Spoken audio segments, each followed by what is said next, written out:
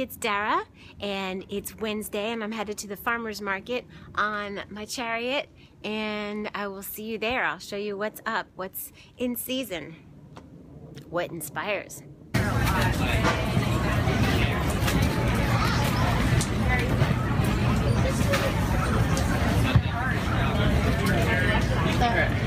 Hello.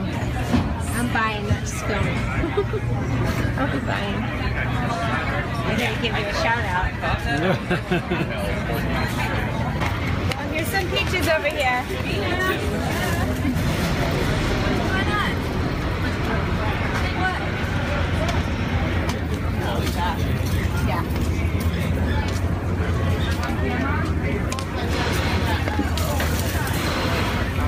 Oh, it's a video oh, selfie. Oh, video selfie, okay. Ken- at not Kenny. Kenny's the wrong name. my hat's off. Kinjai, Kinjai Jung. Kinjai Jung. Yeah, I'm a, yeah, Kinjai Jung. Potato. Potato Uh, man. uh, you know, I like to think I'm not just small potatoes. You know no, you have some big potatoes too. And I smell the me- No, I'm not gonna say you. Well, no, you were smelling my new cologne that's coming out in the It's, fall. it's melon. It- It's called Midnight Pasture. It's gorgeous. Get a whiff of Midnight Pasture. Gorgeous. You were seeing the reflection. Thank you. It's kind sir. So tell me the name of this farm, this stand. here. Weiser Family Farms. Weiser. Yeah, I'm none the wiser. You're none the wiser. okay, I thought your At name was moment. Kinjai. Kinjai Jung. Kinjai Jung. Secret Asian man. Well, are you gonna help us pick out melons? Be my honor. Okay. Will you tell us how? What's Are the we- best are we way? going across yeah, here? we're gonna We're- go across. I'm with you.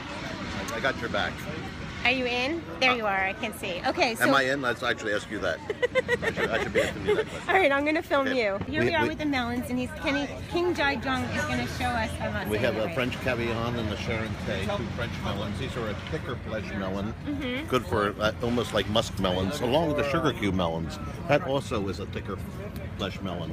Okay. Melons that have netting, you want a lot of tight netting and a belly button. That's when it's picked.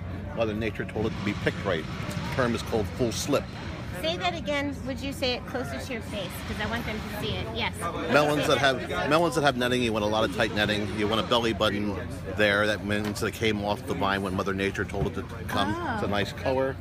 Melons that don't have netting, look at this. This is a little bit grayer. This is more ripe. This would be a little bit greener. This would have to ripen. Okay. Melons will ripen off the vine, except for watermelons. Watermelons will not ripen off the vine. They're as only good as the day you picked Oh. it. Okay, so that's So a little less than so, a melon. Okay, so when picking a melon, we go for what you said about each one of those. I, I look for melons with tight netting Tight netting. that have a belly button. Okay. Awesome. There. And there's no particular squishiness or anything You know, like that? sometimes people tend to go, they want to smell the melon and everything else, but sometimes the flavor's leaving the melon. It's a day overripe when it's leaving that. It's a, Ah, it's so a it very, might be too ripe. yeah, it's it's the relationship between pulling of the vine. Right here, that's the that's Okay. the power source. Thank you so much. Thank you. It's the relationship to pulling off the vine. So you want the belly button. That's good to know. Look at this. You're not gonna like it. We're gonna try some. Just saying. Mine too, thank you. Dollar twenty-five. Great. It's Aaron. These are so.